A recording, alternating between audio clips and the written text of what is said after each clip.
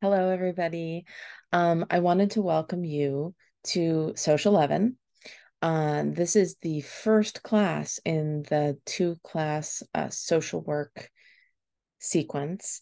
And Social 12 comes next. That is a class where you get to put some of the skills that you learn and concepts that you learn in this class into um, practice in the real world. But uh, before you get to do that, you have to go through this class.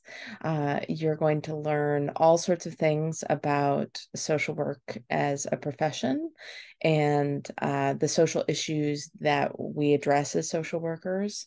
There is a new book that we are using this semester that I've I've used a little bit, but it's I'm still working out the kinks a little bit called Poverty by America.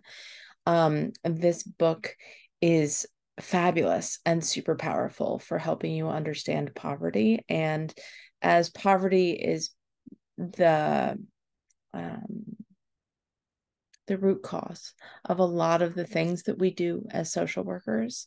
I wanted to make sure that you, as new social work students, um, had a chance to explore that topic in depth. So we have that book.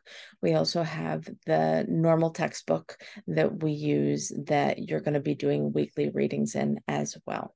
So I'm going to do a different video that is going to walk you through the course, um, the shell, and what the expectations are for the in the syllabus. But I just wanted to do a short introduction. And if you have any questions, I'm here for you.